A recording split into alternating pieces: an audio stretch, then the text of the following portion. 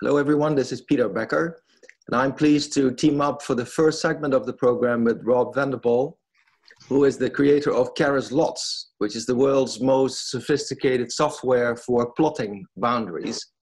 I am a former ICJ staff lawyer. Our pre-ruling analysis underscores how maritime boundary delimitation is part law and part science, the two disciplines being intertwined. And Rob and I will set the stage and provide a framework for discussion by Abdul and Albert. And we'll do, do so as neutrals, pretending there is no ICJ case. So we are disinterested observers from the outside. And I'll let Rob make an initial disclaimer before we start our discussion. Thank you, Peter. Uh, just make sure that everyone in the audience realizes every effort has been made to ensure the accuracy of the graphics. Nevertheless, these are illustrative, indicative, independent, and preliminary. And it is the request of both of us that any contained figures in the presentation not be used without the permission of either of us. Thank you, Rob. Now, in terms of policy options, let's keep in mind coastal states with overlapping claims to maritime areas have a basic choice between finding a bilateral solution or seeking third party assistance. And the United Nations Convention on the Law of the Sea, to which Somalia and Kenya are parties, calls for negotiation in good faith of what it calls provisional arrangements of a practical nature, pending final delimitation of an exclusive economic zone or continental shelf. That is a treaty obligation. Now, examples are the creation of a joint development zone where the disputing states agree to disagree on the boundary and then proceed to joint development of an overlapping claim area. Or international or cross border unitization, where a discovery is made. And these instruments enable the decoupling of questions of joint development from questions of sovereignty and sovereign rights. And the September 2017 ruling in the case between Ghana and Cote d'Ivoire is especially instructive regarding the legal obligations of neighboring coastal states with active offshore oil blocks but lacking an agreed boundary or a provisional arrangement for joint exploration and exploitation of hydrocarbons pending agreement on the common boundary. There's a helpful paper by William Onorato on the web on the website of the hub that I can refer you to. Now, disputing parties can also seek to delimit the disputed boundary through negotiation or, or through non-binding mediation or conciliation by a third party. Or the boundary dispute can be submitted to a third party adjudicated solution, either through ad hoc arbitration or adjudication by a standing tribunal. And that's, of course, what happened here in the case of Somalia and Kenya. We have no agreed maritime boundary, or so the two countries appear to claim. And there is a pending case between these two countries before the World Court or the ICJ. Uh, as a note, self-help through the use of force is prohibited by the UN Charter, uh, and so you uh, can expect not to see naval vessels clashing uh, offshore. A body of maritime delimitation case law or jurisprudence has developed through at least 25 decisions rendered by various international courts and tribunals since 1969. And, and through a technique that Rob and I call maritime boundary reverse engineering, and relying on uh, our legal and scientific expertise, we can apply the lessons from case law to a given dispute, such as the one between Somalia and Kenya, and try to make informed predictions regarding its outcome. And the ICJ is the undisputed front runner, as you can see, with a dozen judgments. Now, ICJ boundary cases on average take five years and nine months to conclude. And in this case, uh, we are actually marking uh, the 69 month anniversary. Uh, so we are already on the wrong side of the mean uh, in this case. Okay, so how does an international court such as the ICJ arrive at an adjudicated maritime boundary? What can we expect from the ICJ in terms of the, the limitation process. Certainty equity, and stability are integral parts of this delimitation process. So we can expect to see them play out in this case. And these three elements are reflected in a three-stage methodology developed by the case law. Now, the court can be expected to start by determining what is called the relevant area. And it does so by identifying the geographical context of the delimitation. And that includes relevant coasts formed by projecting coastal frontages that overlap, as well as protrusions and offshore features such as islands. Then the court will establish a provisional line, typically, but not always, by drawing an equidistance line between adjacent coasts, as in this case, or a median line between opposite coasts. And the point really is typically not how to draw the line, but where to draw the line from. That is, what is the land terminus point? And we'll get to that in the presentation. Rob will show you the issues with the land terminus point and the equidistance line. The next second stage, the court will consider whether there are factors calling for the adjustment or shifting of a provisional line in order to achieve an equitable result. And these factors are called relevant circumstances, and the case law favors neutral factors of a geographical nature, such as a significant disparity in coastal length, over area specific factors such as fisheries and oil concessions and oil wells, unless the parties have expressly or tacitly agreed on their location.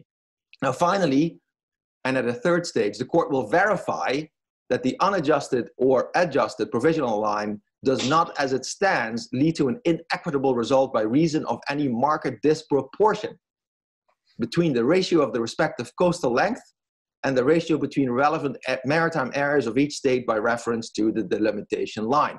This is called the disproportionality test, and its application actually could result in an offshore island being given only half effect or no effect at all in the delimitation. Thank you. So what do we have here? Well, we are on the eve of a hearing. And you can see from this uh, snapshot from the International Court of Justice's uh, press release, um, we are less than a month away from the opening of oral proceedings in this case. Um, we know that Kenya asked for two postponements, and uh, the hearing, hearings were initially due to open in September, then were postponed to November, and now we're looking at the 8th of June. What do we know about the case from the ICJ website? Uh, there is Somalia's memorial, which is a national document, but that is from the 13th of July 2015. Uh, the Kenya position is not yet released. That will be done uh, on the eve of the hearings. And so we are not uh, clear uh, what the Kenyan position is in the case. And also, the final submissions of the parties can only be expected on the final day of the hearings before the ICJ. We do know that the trigger for the case was, uh, according to Somalia, uh, Kenya's granting of commercial oil concessions in the area of overlapping claims. So that's the background. Now over to Rob Vanderpoel. Thank you, Peter. Okay, so this is going to be a demo. Uh, Law of the Sea is a global marine application that actually impacts 162 countries. Uh, as you see from this global slide, we're focusing in on uh, this portion of the nearshore offshore waters for Somalia, Kenya for today's study. Just to set the stage a little bit, what is the status of maritime boundaries uh, in the world today as of May 2020? There's approximately 501 maritime boundaries in the world. 250 of these are signed and or in force, which is about 49.9% of the world, which means sadly 50.1% of the world's offshore maritime boundaries remain unresolved and or in dispute. And so today, one out of every two boundaries are disputed, as is the case for Somalia and Kenya. Um, just to roll backwards a little bit, um, just so that you understand what's going to be discussed today. Um, 14 years ago, uh, we started to assemble a global database for data. There's over 95 terabytes worth of data.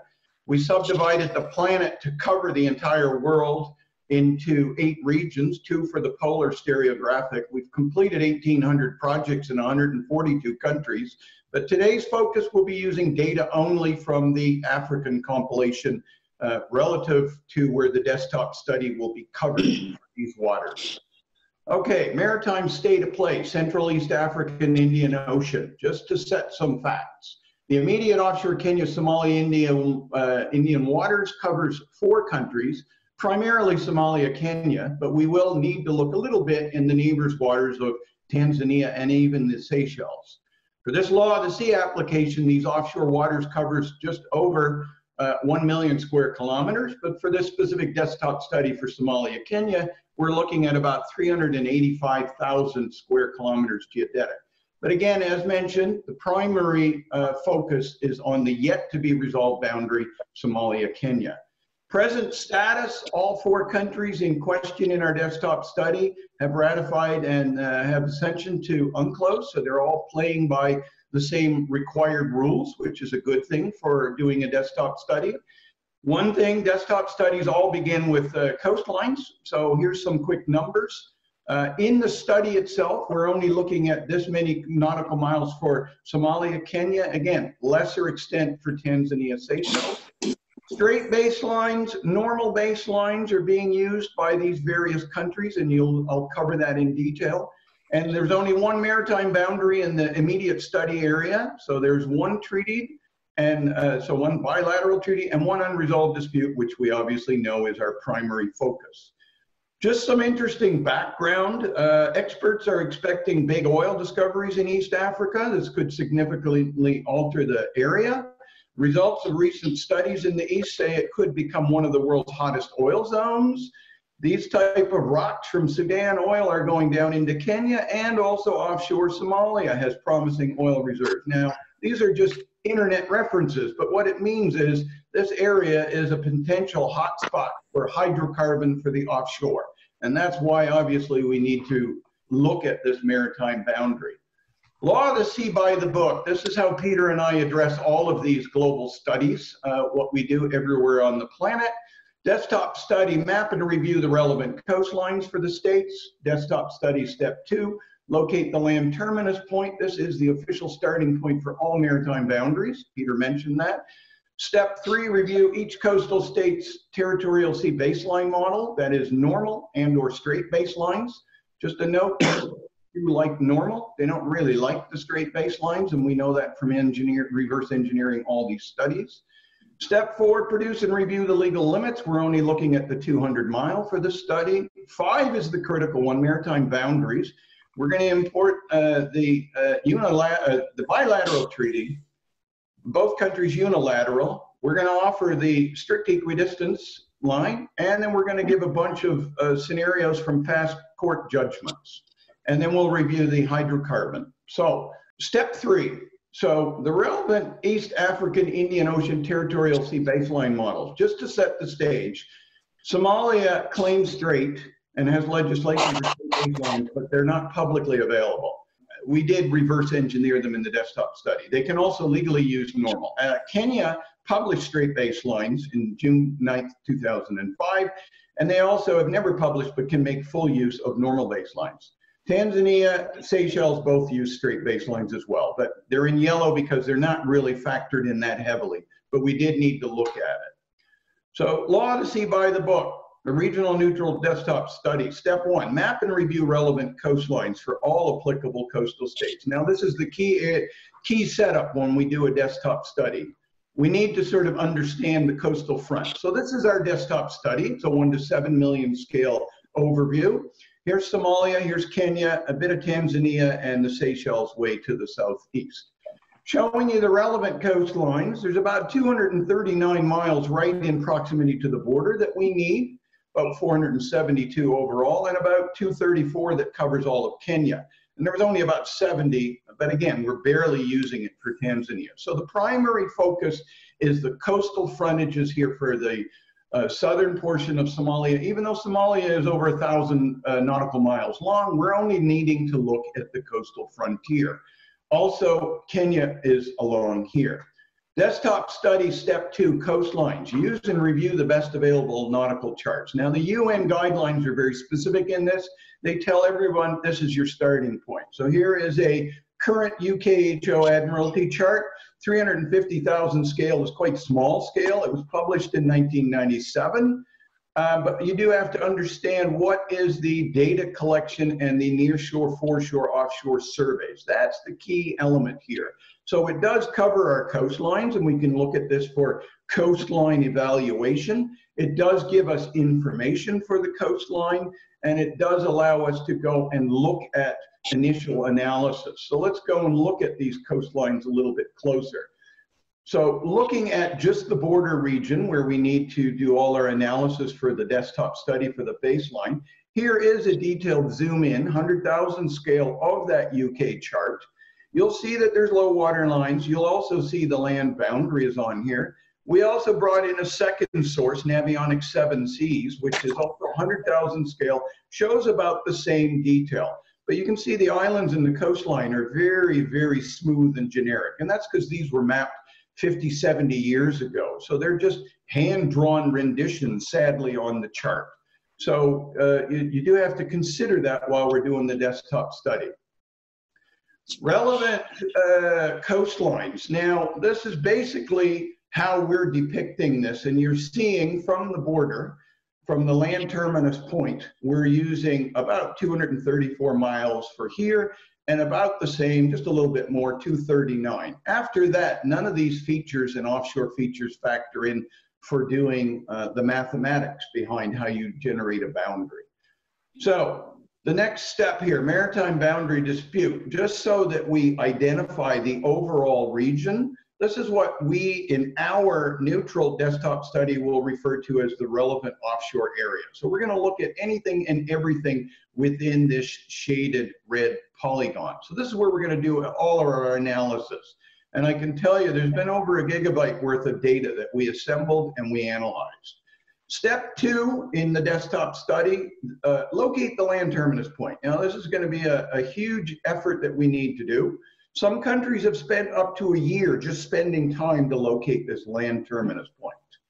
Okay, analyzing our data set. Again, here's our desktop study. We already know that obviously there's a frontier for Kenya, Tanzania, but we're not going to look at that that much, and I'll explain to you why as we analyze the boundary. So here's the critical focus area. The land terminus point needs to be located for Somalia, Kenya, in order to generate a maritime boundary. So how do we do this? We're going to go through a bunch of steps. This is using some topography data. This is a wonderful land-based 3D elevation model. Again, homing in here on the coastal area. So we're coming from land, but the land terminus point is where land terminates into the sea. So this is somewhere in here is the probable area that we need to locate this land terminus point. But we need to have a whole bunch of different data sources to try and identify this information and to see how this comes together. We normally go back through history. Here's a wonderful old US defense map that actually shows the land boundary. And again, even in here, it shows the approximate general location with some features coastal. But this is old. This is from 1976. Again, already seen this nautical chart. Again, we know there's some small islands near shore here. We know there's a land boundary. But more importantly, if you bring in some old data, this is a, a Kenyan Gazette officially from 1973. They talk about the pillar number 29 being the terminal pillar of Kenya, Somalia. They even give an, a very crude latitude and longitude. Keep in mind that's old, old mapping. So let's bring this to present day. Here's a wonderful one meter Apple map image. These, the, the Uatu uh, Damascus, uh, I'm going to pronounce that name always wrong, but these five islands offshore are critical. You'll see that there's a boundary down here that is uh, the four meters that is described in this CIA document uh, that we made use of. It talks all about describing Dick's Head, and it also talks about where the coast shall be terminated down here. So this is Kenya, Somalia, location boundary pillar 29, as we have researched it. And again, you can see on this image, this is Somalia and this is Kenya. So this is the land border. Okay, Moving on, moving on to the next step, we need to desktop study three, review each coastal state's territorial sea baseline model. Now, straight baselines and normal, we're gonna begin looking at straight, but I do have to stress that the courts really do prefer normal baselines.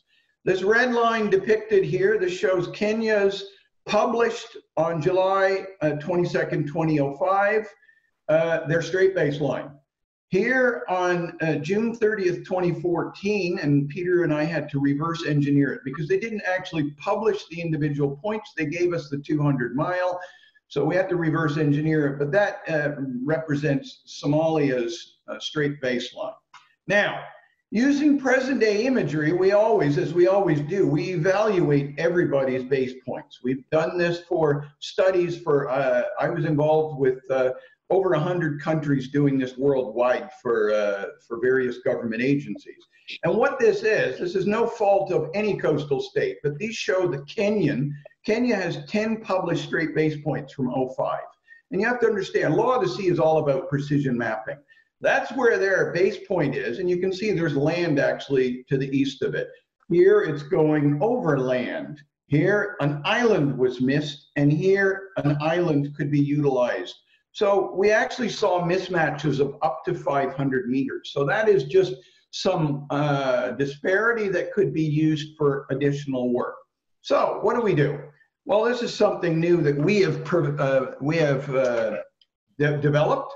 It is using satellite imagery for preliminary shallow water mapping application. And in this case, neither Somalia nor Kenya have published normal baselines. So again, from all these diagrams and from this image here at 25,000 scale, you'll see the land terminus, uh, the boundary pillar is down in here. And using normal baselines and using these figures, we have interpreted using this present day satellite image from 10 months ago, we have mapped the uh, normal baseline. So that's the low water line. So there actually is the first time we're looking at the land terminus point. And that's the same procedure that was used in the Ghana uh, Cote d'Ivoire case, whereby the tribunal moved the point.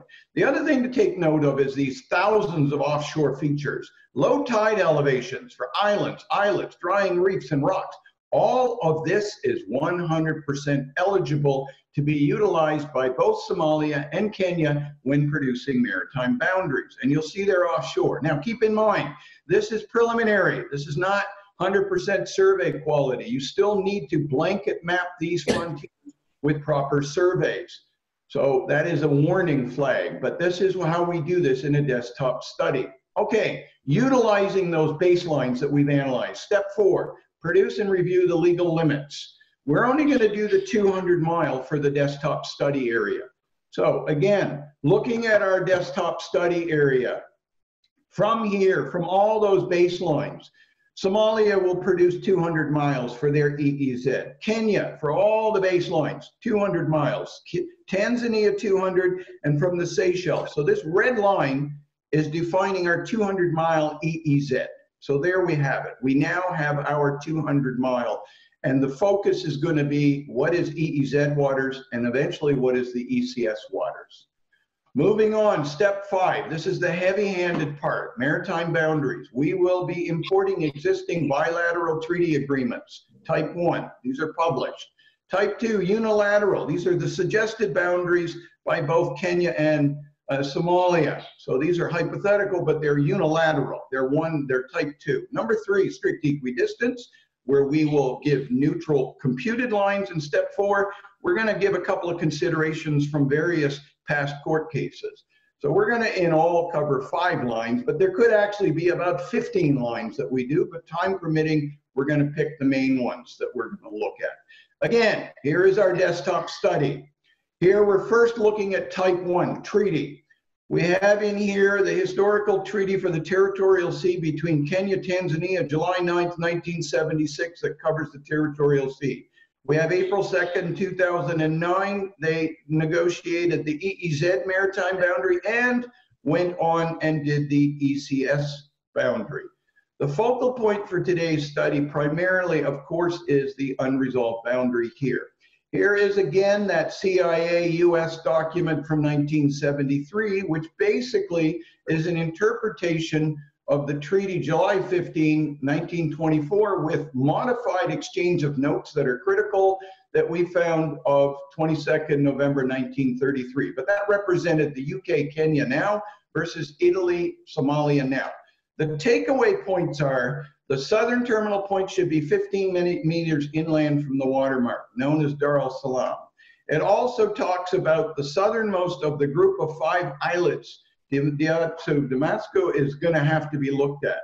And so here's the critical thing. In a southeasterly direction, to the limit of the territorial waters in a straight line at right angles, general trend of the coastline at Dar el Salam, leaving the islets in, Italian territory. Now, this was really interesting for Peter and I when we stumbled on this. And again, we try and approach this just purely from a neutral's point of view, having done thousands of these studies. So let's try and reverse engineer that. Here are the five islands. You can see them offshore. Here again is the land area, but critically that diagram, that document from 1933 states, taking the southern of the five, a perpendicular line back to the coastline where the land boundary will meet at pillar 29 and then it could move to the low water line. But it actually goes one step farther for both of us. This was extremely interesting. It talks about taking the perpendicular line right at Dar el Salam, which we did. It's about 35 degrees. Running a perpendicular line straight out so this straight perpendicular line, it's about 125 degrees to the limit of the territorial waters. Now, territorial waters for Somalia and Kenya both would be 12 nautical miles. Of course, we do not know if it's, uh, it is uncertain how the ICJ will interpret these 1924 treaties. Pete, I believe you have a few words at this moment. Yes, so from the international lawyer, it will be interesting to see how the ICJ will interpret the Italy Great Britain Treaty of 1924 and the exchange of notes of 1933 that Somalia and Kenya inherited from the colonial powers. Now, Somalia and Kenya may be in agreement that the treaty did not delimit any maritime boundary, but the ICJ can be expected to do its own analysis and interpret the treaty according to the established rules of treaty interpretation codified in the 1969 Vienna Convention on the Law of Treaties, which is binding customary international law for Somalia and Kenya. And the starting point for interpretation is the ordinary meaning to be given to the terms of the treaty in their context and in the light of the treaty's object and purpose. A special meaning is given to a term if it is established that the parties so intended. It is not clear that such evidence exists here. The words, quote, to the limit of territorial waters, end quote, must be given effect, it seems to us. Rob? Thank you, Peter. Okay, so based on that, we're calling that a historical treaty question mark. And here is going to be some boundary analysis now. So again, set the stage, a 1.15, 1 to 1.5 million scale. Here's the relevant 200 mile. This little first segment is what I just displayed. And again, we're just calling that the historical treaty line, possible. Again, this has got a question mark onto it. The next line, this is the unilateral line claimed by Kenya, June 2005, with publication of documentation, and it follows a parallel of latitude. The counter line, so that's a unilateral line here, in, is the Somalia line, July 2014, which runs as a uh, line down in here. But what this is critically giving us is the overlapping claims area, also referred to as the OCA. It's about 50,728 square kilometers by our calculation based on all the analysis that we have done to date. Moving on now, maritime boundaries, type 3 and type 4. Okay, type 3 and type 4. These are computed, so this is in the desktop study. And again, we're going to fix all our boundary lines onto the end of that potential historical treaty.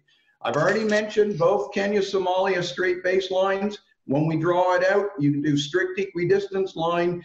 It gives a very lopsided 98.5% of the OCA to Somalia and one and a half to Kenya with that line. But again, some of the straight baselines are somewhat questionable for Kenya. The opposite would use the normal baselines. And again, I warn you, these are from our 40 SSM mapping, but it ends up giving an 86.2 to 13.8, where you see the line is migrating up towards the middle. Here's a complete different one, but we did want to consider it because marine protected areas, which Kenya does have historically here in the Kiunga Marine Reserve, and or considering fisheries, there is a past court case where Jan Mayen, Denmark, Norway in 93 used that to give a split of the waters 50-50. So we draw that as a possible line.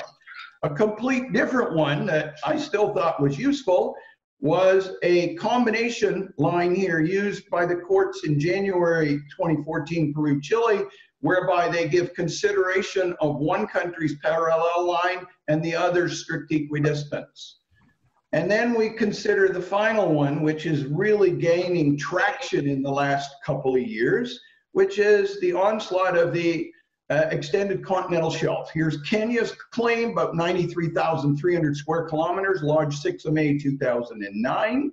Here, directly on top of it, is part of it in our desktop study showing Somalia's July 2014 claim. It's only about 127,000 square kilometers, the area in yellow, but their entire is almost 900,000 square kilometers, which is 10 times the full claim of Kenya. So keep that in mind when you're thinking about equity and fairness. But the OCA or overlap is about 76,353. So we did some splitting of some math. There's four past recent court cases that all made considerations of shifting the line in the name of equity because of the extended continental shelf, and that would give it a 60-40 in the ECS and a 50-50 in the EEZ.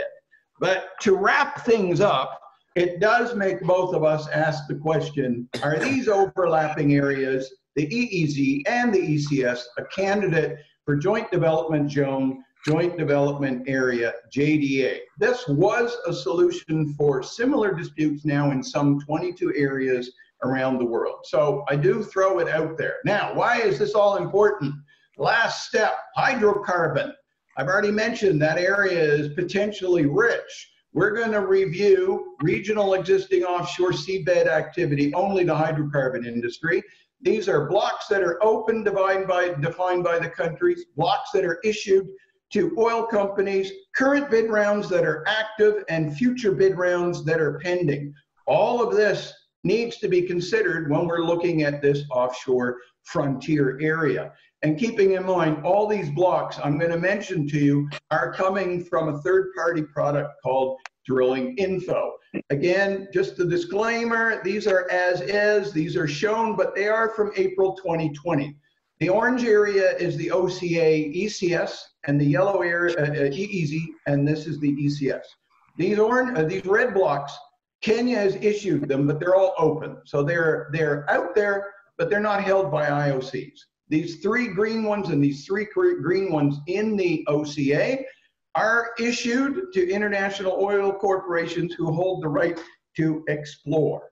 There is also a future bid round that's on the books uh, about one year from now, July 2021, and you'll see there's several blocks that encroach into the overlapping claims area. Somalia has all these open blocks at the border region, and interestingly enough, they even go beyond uh, the OCA. There's two green blocks issued as per drilling info, but it's outside of the overlapping claims area. But interestingly enough, there is, as per drilling info, there is current bid round with two blocks that lie in near proximity to the OCA. And what this finally all summarizes is present day offshore hydrocarbon blocks impacted by the overlapping claims area dispute. Kenya has eight, and Somalia has 18 in this figure. Pete. Thank you, Rob. So switching it to uh, the private sector and uh, the legal perspective uh, quickly, uh, the question um, can, can be raised, does the private sector, does the petroleum industry have a role to play in boundary disputes between coastal states? After all, concessionaires or licensees are directly affected by a maritime boundary dispute, as, as Rob just showed. And as a rule, this is the purview of sovereign states. Oil companies cannot be formal parties to boundary cases. So you will not see an oil company appearing on the side of other party before the International Court of Justice in The Hague. But foreign companies can and should work with the disputing states. And the goal here is to be a help, not a hindrance. And help means providing geological or other data to both states if requested, or identifying experts such as Rob van de Poll, uh, provided this is done in a neutral way. Foreign concessionaires should take care not to take sides with one state over another and refrain from aggressive lobbying. And some caution and restraint are called for. Rob? Okay, thanks again, Peter. Uh, that actually concludes the initial portion uh, of today's webinar. That is all from Peter and myself. Uh, we'd like to thank you for uh, allowing to uh, present this. And at this moment, I will hand the floor back to Madam uh, Chairperson, and she can take over. All right. Well, um, thank you much, Robert and Peter, for that very, very riveting presentation. I would like then to get a few comments from Abdul Abdurrahman and I'll start off with uh, Abdul. Maybe in five minutes, can you give of um, Somalia's approach and stance in the dispute? Well, um, you know, as a background, uh, I'd like to point out that Somalia is emerging from 30 years a civil war that had gone on for 30 years since 1990. And uh, with regard to the current dispute, uh, the general feeling within the Somali government, uh, which I believe informed its own uh, uh, decision making during the uh, dispute in front of the International Court of Justice and within the Somali population, is, is that while Somalia was involved in all of these issues and conflict uh, during the civil war that uh, Somali territory. Now, I want to make very clear that uh, when I say Somali territory, that this uh, territory is still subject to contested claims from both sides. But from the Somali point of view, that they believe that they have uh, sovereignty and exclusive jurisdiction in this area, and that Kenya um, had uh, issued concessions in this area to foreign uh, oil companies that have uh, started uh, operations. So within that background, uh, there were some negotiations that took place to settle this uh, contested claims between Somalia and Kenya. Uh, these discussions went on in 2014, I believe, from February to to August. And during those discussions, um, the two parties not only couldn't agree on a settlement, but they couldn't even agree on what type of uh, method should be used to delimit the uh, joint maritime boundary. And uh, looking at the timeline that uh, that Somalia had set out in its memorial that was submitted to the International Court of Justice, it appears to me that Somalia from the outset was prepared for two outcomes. One outcome was to settle the, uh, dispute through bilateral uh, negotiations and agreement with uh, their Kenyan counterparts. But at the same time, it appears from um, to me uh, from the, the timeline in the memorial that Somalia was also prepared for the eventuality of a failure in uh, these talks. And uh, I do base that on the fact that uh, within the timeline of uh, the negotiations between Somalia and Kenya, uh, the Somali uh, government submitted the case to the ICJ within days of uh, the final contact made by the Somali Minister of Foreign Affairs to his Kenyan counterpart uh, on, I believe, August the 26th. And that contact referenced uh, meetings that had been scheduled prior for the 25th and the 26th in Mogadishu to continue negotiations. Um, and Kenya did not turn up for those meetings. And now this is the position of the Somali government. And uh, at that point, the Somali government reached that any further negotiations on this issue were fruitless. And Somalia's position has been that in the spirit of the uh, United Nations Convention on the Law of the Sea, that Somalia has fulfilled its obligation to uh, enter into good faith bilateral negotiations to settle the boundary dispute. And that since that have failed, that now they are going, uh, now they have submitted the claim to the International Court of Justice to settle the matter. And uh, Somalia has requested that uh, the method that should be used should be the equidistance method. Okay, thank you very much, Abdul. And uh, Albert Muma, let's hear from you regarding as approach and stance in the dispute. Okay, uh, thank you very much, uh, Wairimu. I think what uh, is quite uh, clear is that, you know, Kenya was obviously uh, taken by surprise when uh, Somalia filed these proceedings at the ICJ. Uh, it would appear, of course, that Somalia, on the other hand, you know, had been preparing for these kinds of proceedings for quite a while. Uh, you know, Kenya had assumed that, uh, you know, first of all, uh, there was a framework for reaching a negotiated settlement uh, and secondly, that uh, you know negotiations were in fact going to take place, uh, you know, after the delineation of the outer continental shelf by you know that you know so they, they were not at all prepared and were quite surprised. Now, uh, it is also the case that, uh, you know, I think uh, given the history of Somalia that, that uh, Abdul has indicated, where for a very long period of time, Somalia has uh, had internal conflict and internal instability with considerable impact uh, on Kenya's own stability uh, in terms of uh, you know, security uh, in issues, in terms of the fact that Kenya has hosted the, the, you know, in the past, the Somali interim government, in terms of the fact that Kenya hosts a large number of, uh, you know, Somali nationals who are displaced. Uh, the reaction of the Kenya government, I think, and of the people of Kenya, uh, you know, was was one of not just surprise, but uh, you know, a thought that somehow, uh, you know, this this was a slap in the face. So that I think uh, characterizes, you know, the stance that, you know, and the reaction that Kenyans had to these proceedings.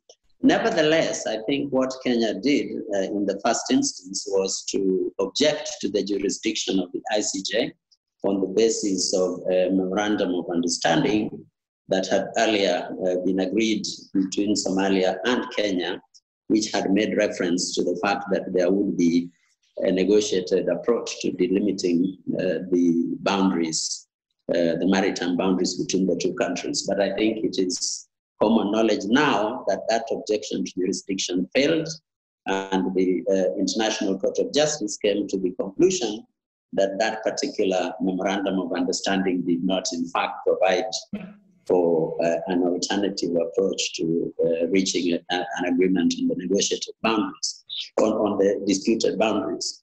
Uh, in the end, I think what uh, Kenya argues is that, uh, you know, the uh, proper position uh, which uh, should be adopted is to uh, delimit these particular boundaries uh, using the parallel line.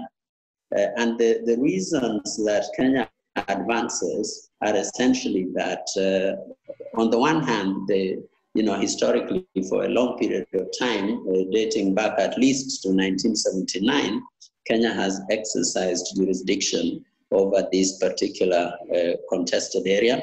And there has not been any uh, protest, any challenge uh, from Somalia to Kenya's exercise of jurisdiction over that area. Uh, the first challenge comes, uh, you know, just at about the time uh, before these proceedings are filed. So I think Kenya argues that, in fact, if you look at that, then you can see uh, that you know there is a legitimate claim by Kenya. But secondly, they say there is regional practice, uh, which uh, has been adopted between Kenya and Tanzania, between Kenya and Mozambique, between Tanzania and Mozambique uh, for that kind of um, you know parallel line.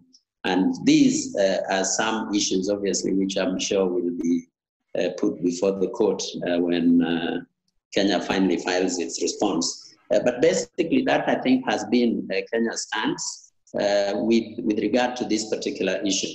thank you. Thank you very much, Professor Muma, for those um, comments.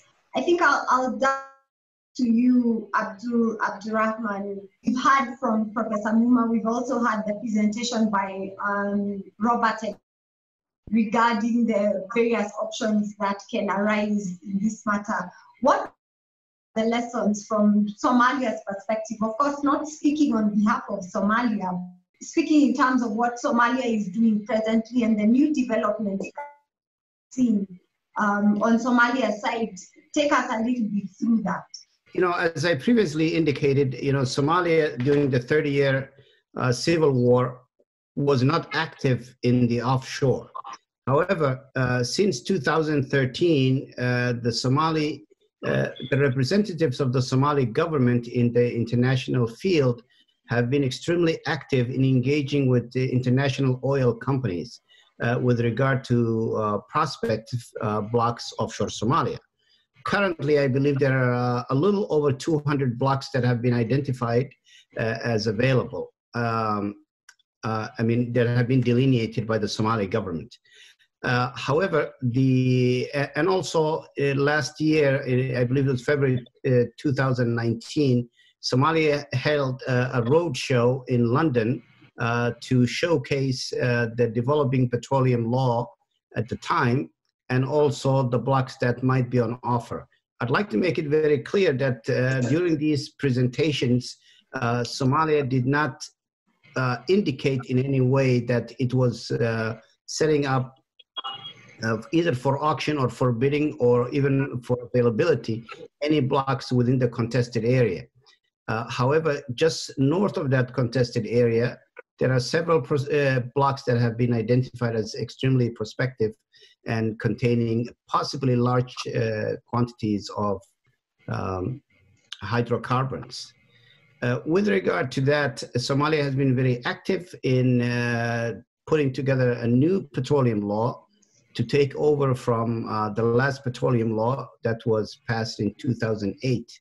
Uh, the new petroleum law that was uh, signed into um, service by the Somali president uh, in, uh, I believe, February 2020, a few months ago, um, essentially is very similar to the 2008 petroleum law.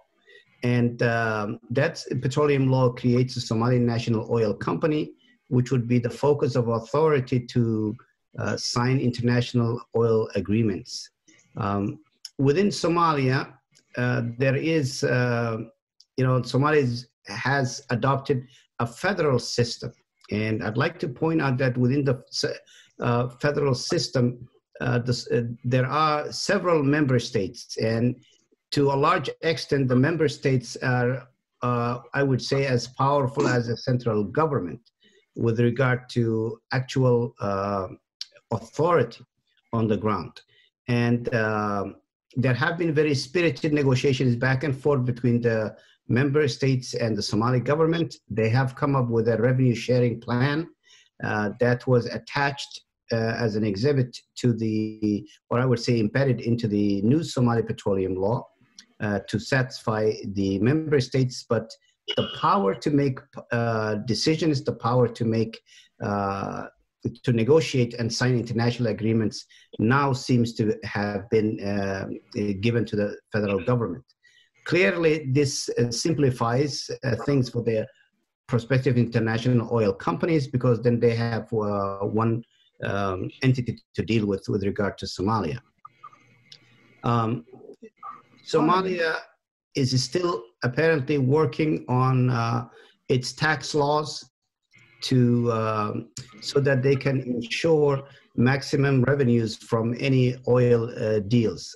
Nothing to, to my knowledge, uh, there has not been a fiscal regime that addresses uh, hydrocarbons or possible revenues or even um, the uh, you know, for example, if one of the oil companies wishes to farm out any of its uh, interests in a block, I don't believe there has been any uh, tax uh, code to make sh- to ensure that that uh, process is taxed and uh, that uh, whenever taxable event takes place in any of these, um, you know, negotiations, that the Somali government is able to uh, tax the event and ensure that they get uh, revenues.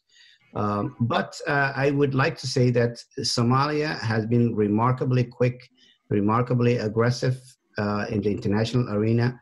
Um, just this week, uh, Somalia announced a new bid round. Uh, they have offered seven blocks. none of these blocks are within the contested area. I believe there is one block on that's adjacent to the uh, Jubaland member state, uh, block 204, that's available, that Somalia has made available for bidding.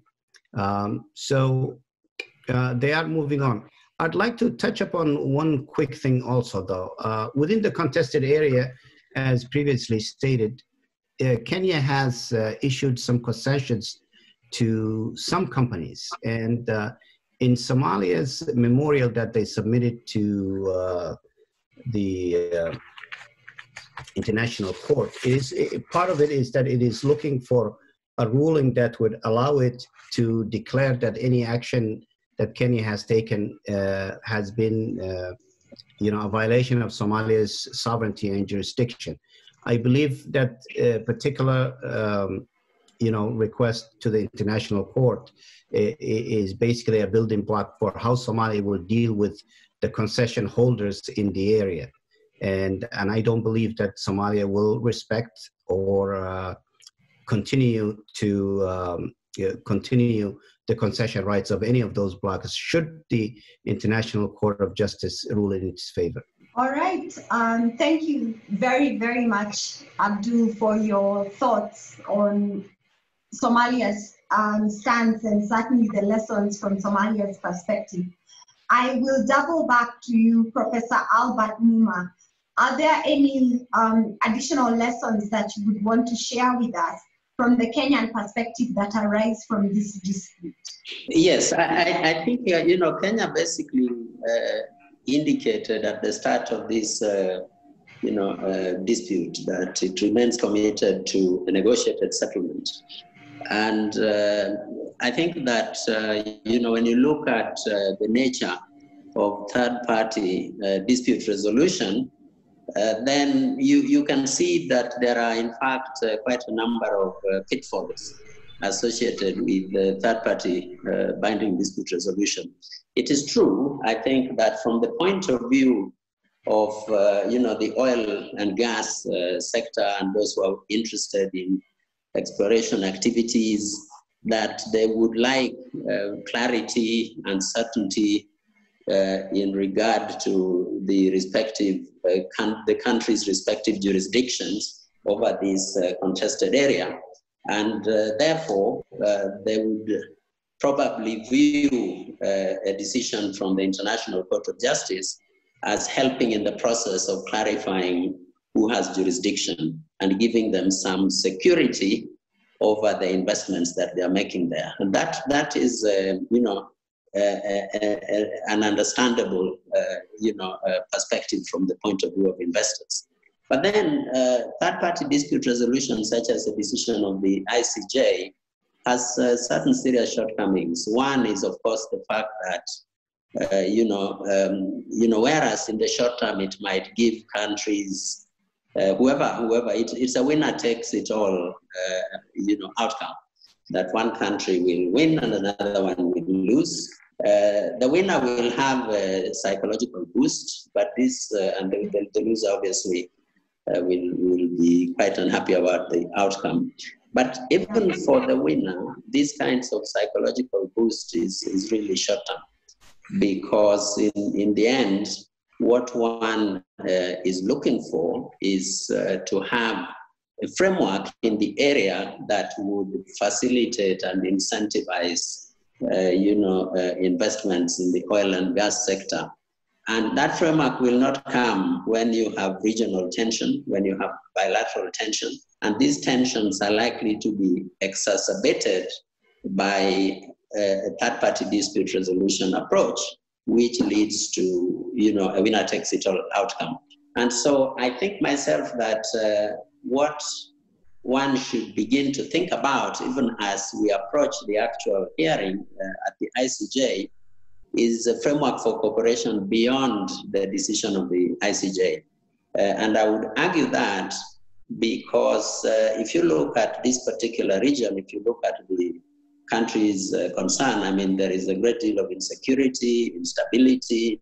The area is prone to a lot of, uh, you know, uh, terrorist attacks. The sea itself is subject to incidents of piracy. That's not an environment that will encourage any investment uh, that, that, that can be sustained.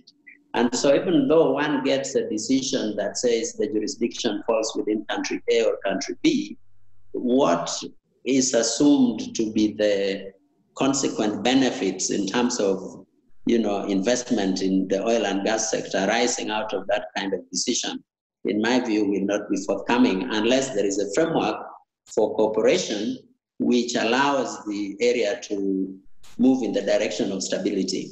And that can, can only come if people begin to look beyond the ICJ decision so that they begin to establish a framework for cooperation of that kind. And that for me is the, the, the message that I think we should take away from this, uh, you know, this particular session. Thank you. All right. Uh, well, thank you very much to the panel uh, and to both uh, Abdul and Albert, Professor Albert Muma and Mr. Abdul Abdurrahman for their comments on what what we can see and the lessons that we can learn from each country's perspective. Now, I'd like us to get into the Q&A session, and I'm sure all of you have had, um, we've had several questions, uh, more than 12 questions in the group chat. Thank you very much. Some have been answered by the panelists. Um, I can see a lot of activity with um, Professor Bekker on answering the question. Now, I'd like us to, if you if you ask a question on the chat, it's most likely been answered. There is a question that was asked, just give me one minute, on what would be the best option on resolving um, the dispute. Now, not being speculative, but I think we can have maybe some um, additional remarks from you, Abdul, on, on where you perhaps see um, Somalia getting in in terms of a win-win situation before we get into the Q&A? Somalia has taken the position that they have fulfilled their obligation to negotiate in good faith with Kenya, and that uh, they, uh, following those negotiations, which in their in Somalia's memorial was termed as fruitless, uh, Somalia has decided that its only option is to take this case to the ICJ. Uh, Somalia is extremely confident. It looks like that uh, that the ICJ will rule in its uh, you know um, in its favor. Uh, whether that would happen or not, uh, clearly is still speculative because, as was pointed out by Professor Bekker, that the ICJ has its own ways of looking at legacy uh, colonial uh, agreements and, and, boundaries delineated in the past uh, on the land, which may extend to the maritime sector as well. Uh, so we don't really know exactly what the court is going to do. Uh, but Somalia is uh, very confident, so, you know, that the equidistance line, which is, has been much favored in the past, would be the method that would be used in delimiting the boundary, the maritime boundary. Um, so at this right. point, I don't believe that Somalia uh, is open to any more negotiations. Now, with regard to uh, the whether the case going to the ICJ would uh, cause, uh, you know, some problems within the Horn of Africa uh, area, is open to question. Uh, what we do know is that uh, there have been some low-level uh, issues between Somalia and Kenya, um, but nothing very serious that would impede the case going forward at this time. All right. Um, thank you. I will also ask for additional comments from um, Professor Albert Muma, especially with regard to the um, the Kenya's lessons in some of the negotiations and disputes that it has had with um, other countries. Um, you mentioned Kenya, Tanzania. Whilst uh, Professor Muma is answering that question, I have, by public demand, been requested to allow for participant questions audibly to have about two or three participants ask questions. If you have a very pressing problem, which you commit to ask in one minute flat, please um, use the raise your hand icon uh, on your chat um, icon so that we can see who has raised their hand and they can be unmuted to ask the question. Um, Professor Muma, over to you. Yeah, th thank you, thank you very I think basically the, uh, you know, uh, my own view, and I think as I indicated at the start, uh, I, I do not believe Kenya had seriously uh, put an effort into negotiating this issue at the start. I, I believe Kenya was rather surprised by the fact that it was presented to the ICJ. In terms of um, whether or not in the future a, a, negotiated settlement might, you know, some sort of a negotiation to find a framework for cooperation might still be the way to go. I think one of the points I would like to highlight is that in the claim presented by Somalia before the ICJ, they are also looking for reparations. They're basically saying that uh, you know regional their sovereignty over sovereignty has been violated, and uh, they would like to be compensated. And uh, you know, just assume for a minute that uh, indeed that was to be granted, then there'll be a long process of, of pressing for that compensation and the associated friction that would arise uh, in that process. But also, if one looks at the, the claim by Somalia, uh, particularly if you, you stretch that uh, equidistant line uh, further down, it actually ends up overlapping with Tanzania, which then means that Kenya would be facing the prospect of being sea locked between Somalia and Tanzania. That is not a prospect that uh, any country can view without uh, considerable alarm. Therefore, I, I, personally think that, uh, notwithstanding the fact that the ICJ hearing is approaching, looking ahead, uh, taking the long term view, I think sustainability of uh, cooperation in the area requires finding a collaborative framework. Now, in a collaborative framework, uh, uh, you know, as they say with negotiations, one must be willing to compromise. Uh, if you are not willing to compromise, there is no point negotiating. And therefore, the timing of the negotiations is important because, you know, at the time when I think, as uh, Abdul says, Somalia is quite confident that they will come away with a win, then they are not likely to be open to any other uh, approaches to discuss. And so, you know, the timing, you know, probably has to take that factor into account.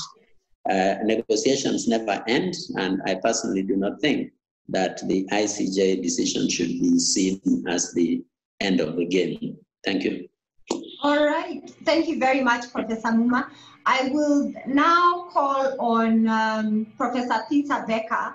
There have been quite interesting discussions on the group chat, and thank you for answering most of the questions. There is one question that I find um, quite interesting for you to address from Njoki M. And it says, while IOC's international oil companies would ideally be expected to not be parties to the ongoing dispute between Somalia and Kenya, this assumption has over time been established to be flawed. They are not bystanders. Um, can you please comment on that? Yes, thank you, Wairimu. Um, we all know that the uh, the oil and gas industry and uh, concessionaires of uh, disputing parties are all directly affected by a maritime boundary dispute. They want certainty. Uh, their investments are um, very large and risky. So when there's uncertainty as to who has title, uh, has so, the sovereign rights to uh, oil blocks offshore, obviously that's a situation that is not ideal and it could uh, flare up. Uh, we have seen that, especially when the international relations between two countries are, um, are under stress, uh, are less than ideal. And uh, we have seen in other cases that uh, the oil and gas industry can be directly affected by that, um, even uh, with, with states um, bringing in their naval vessels to shoot at survey um, or uh, exploratory drilling vessels.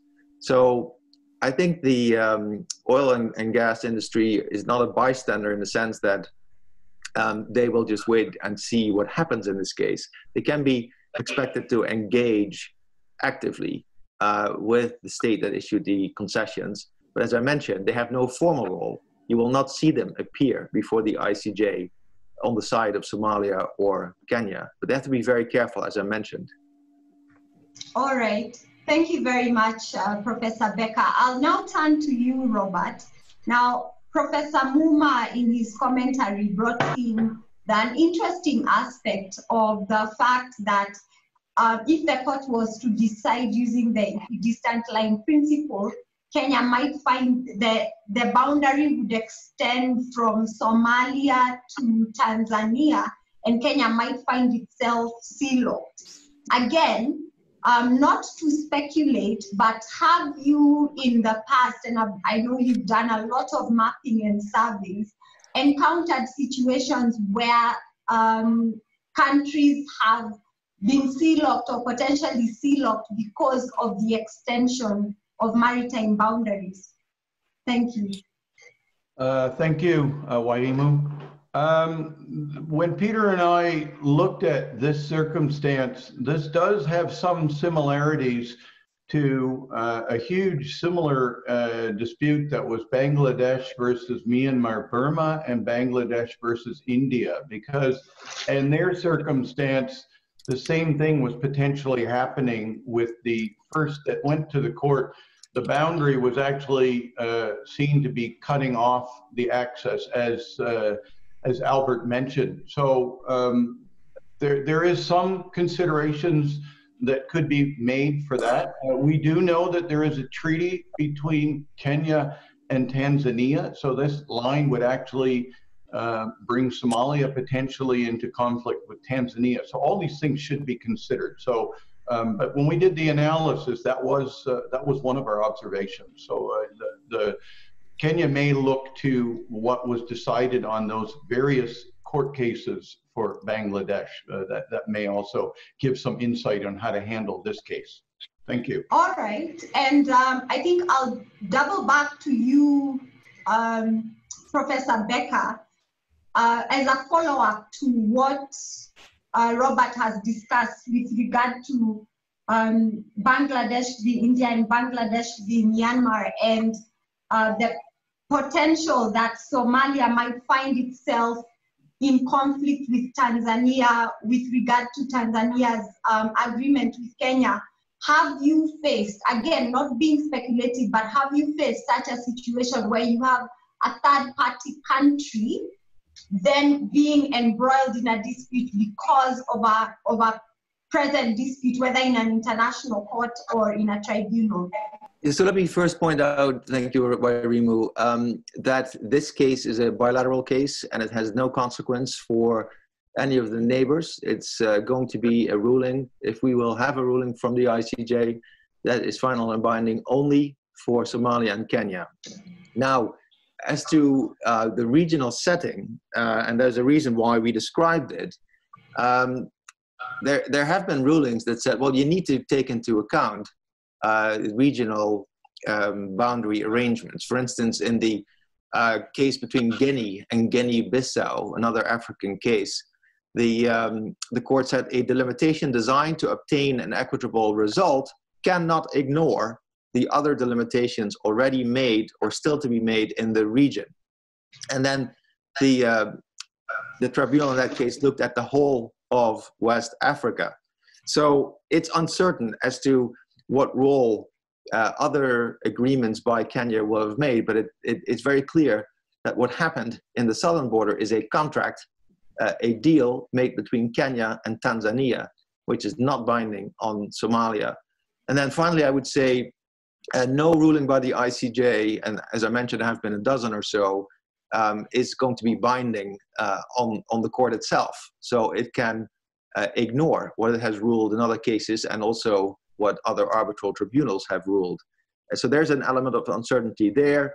But by and large, there is a, a jurisprudence so that we can make informed predictions as to you know, what might be relevant uh, to, to solve this particular bilateral dispute. Thank you.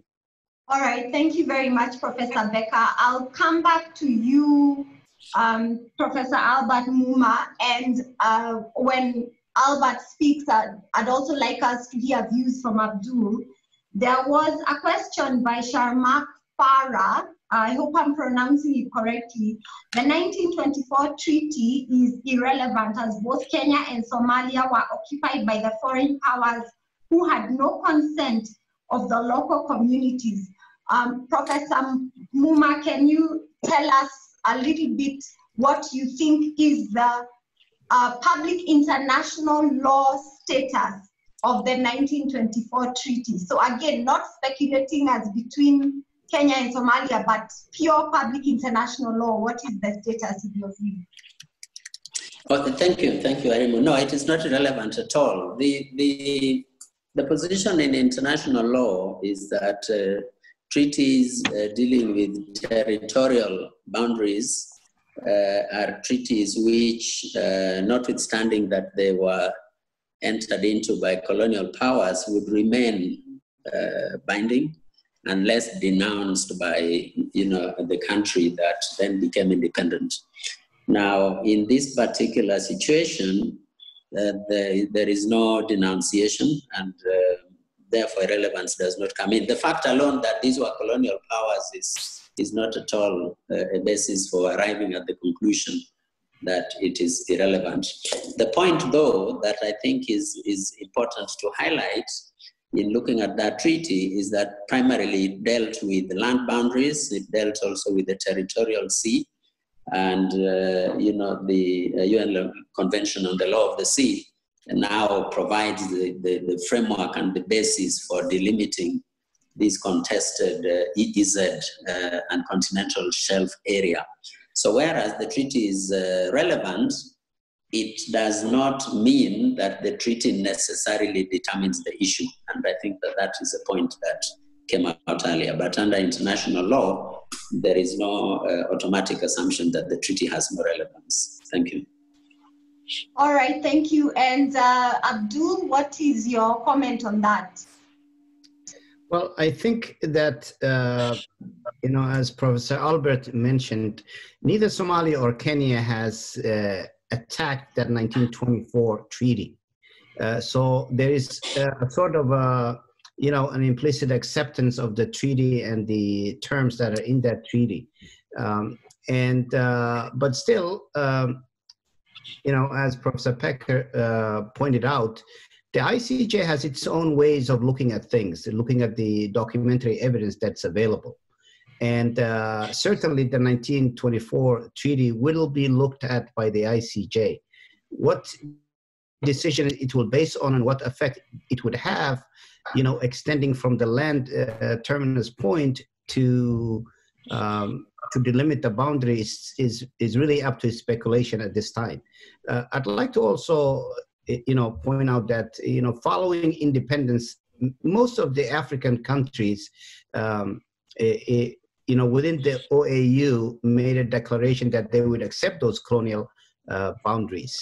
Uh, Somalia has made, uh, you know, at the time there was some boundaries primarily with Ethiopia that Somalia never really accepted as being the true boundaries of the Somali Republic. But that issue itself is would be outside uh, this current uh, you know boundary dispute. So I don't think that the 1924 treaty will have um, much impact. And as I mentioned before, neither country has made any reservations about it. So I'm assuming that uh, it will be clearly not affected. All right, and moving, um, so thank you, thank you very much for that, um, Abdul and Professor Muma. Moving away from that, we have an interesting question from Ab Abukar, which I will pitch to you, Robert. He says, or she says, sorry about that, in many maritime disputes, special circumstances and relevant circumstances are mentioned. Can you please clarify the difference between them and which one Kenya is, um, and which one Kenya would claim um, or use in their favor? Now, I guess that's a bit speculative, but can, can, do you have any comments as to special circumstances versus relevant circumstances? Uh, I, I have to be honest there. I think that's actually a better uh, question for Peter uh, as we work together. Um, Pete, do you actually have a better way of describing that? I, I know the question sounds like it's for different data sources and different relevant portions of the coastal front, but I think that's more a legal question. Peter.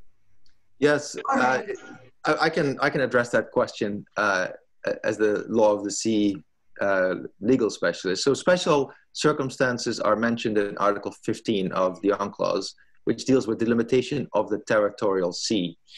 Um, and it mentions the median line failing agreement of the parties. Relevant circumstances are essentially the same concept, um, but that has been developed in the jurisprudence regarding the limitation of the exclusive economic zone and continental shelf. Uh, as I mentioned in my opening remarks, uh, relevant circumstances uh, might come in to adjust or shift a provisional line. And there, uh, as I mentioned, geography rules.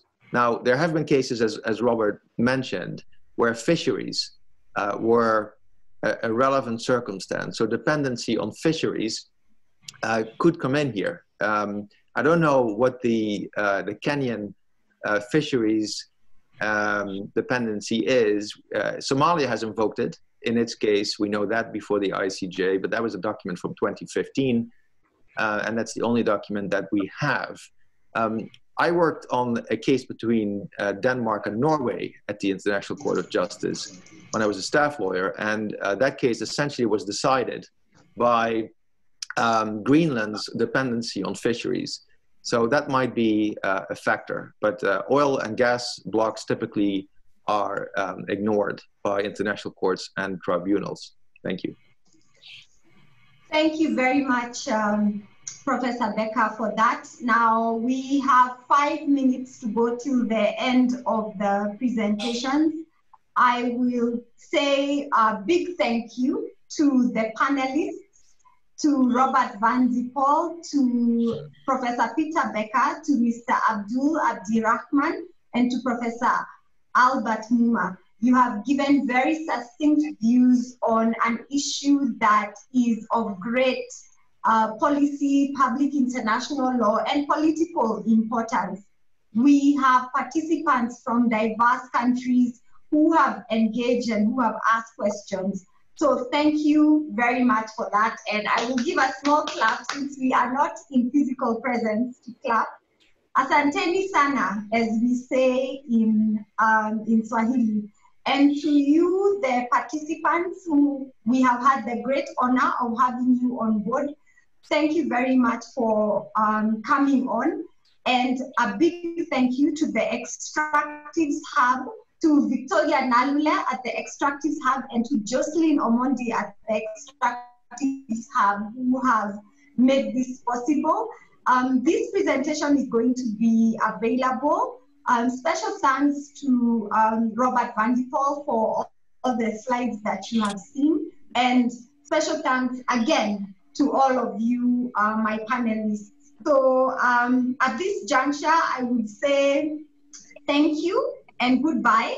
Uh, we have not had any hands raised, but again, participants, if you have any questions, please feel free to email the Extractives Hub who are going to put you in touch with each of the individual panelists to answer any questions that you may have. So thank you very much. Um, excellent presentations as I can see from the group chat. And this message is going to self-destruct in three, two, one. Thank you. Bye-bye.